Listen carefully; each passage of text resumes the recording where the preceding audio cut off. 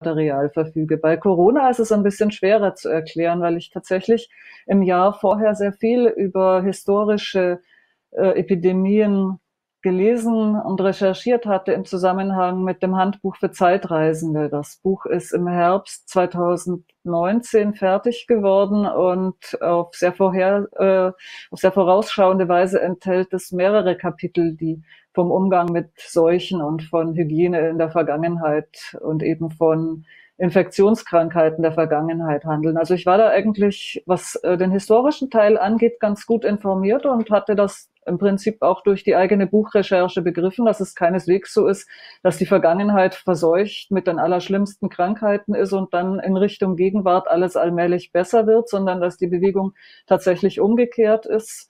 Und äh, wir nur das Glück haben, dass in der Zwischenzeit außerdem eben auch noch Hygiene und Impfungen erfunden worden sind, sonst sähe es ganz düster aus. Aber ich habe keine Verbindung hergestellt zwischen dieser, den Ergebnissen dieser Recherche und der Gegenwart. Ähm, und das ist mir eigentlich unklar, warum. Vielleicht, also das, die, die einzige Erklärung, die mir dafür einfällt, ist eben doch, dass es, ähm, und ich glaube nicht nur bei mir so ist, dass man viele Dinge erst begreift, wenn sie einem selbst passieren.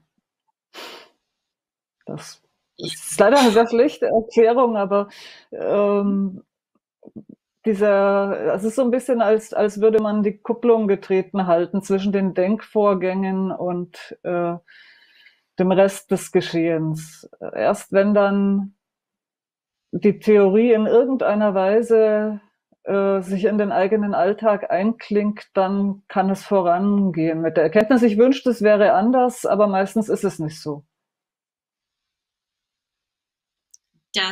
Heißt, also Expertentum schützt offensichtlich nicht vor Irrtümern, ähm, wenn ich das richtig verstehe, aber eine bestimmte Art von Immersion ins Problem, um aus einem Irrtum rauszukommen, in die, in die Wahrheit zu treten oder zu sehen, dass man sich geirrt hat. Ich bin skeptisch bei diesem in die Wahrheit treten. Das klingt so, als gäbe es diese zwei Zustände, den Irrtum und die Wahrheit. Und tats tatsächlich befindet man sich ja immer in so einem ganz unordentlichen Gemisch aus beiden. Und es ist auch oft eine Frage des Zeitpunkts, zu dem man gefragt wird, ob man irgendeine Meinung, die man mal hatte, äh, als Irrtum oder als korrekte Erkenntnis beschreibt.